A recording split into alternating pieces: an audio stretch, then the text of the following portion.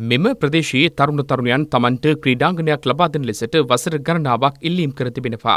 එම ඉල්ලීම් ඉටු නොවීම හේතුවෙන් නව ක්‍රීඩාංගනයක් ලබා දීමට කැස්බෑව එක්සත් ජාතික පක්ෂ ප්‍රධාන සංවිධායක සමන් රත්නප්‍රිය මහතා ක්‍රියා කළා. බෙල්ලංවිල විහාර මාවතේ දිවුලපිටිය පාරේ ඉඩම් ගොඩ කිරීමේ හා සංවර්ධනය කිරීමේ සංස්ථාව සතු ඉඩමක මෙසේ ක්‍රීඩාංගනය සකස් කර තිබෙනවා.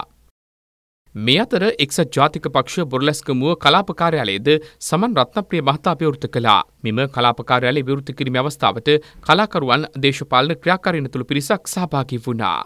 අද සතර අතින් මිනිසුන් එකතු වෙන්නේ රනිල් වික්‍රමසිංහත් එක්ක. අද උතුර රනිල්ගේ, නැගෙනහිර රනිල්ගේ, වතුකරයත් රනිල්ගේ.